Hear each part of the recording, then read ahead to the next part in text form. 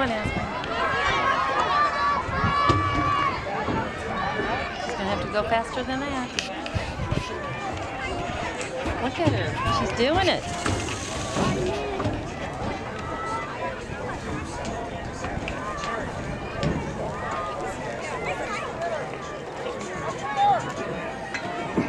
Look at that girl. First call, elementary boys, high jump.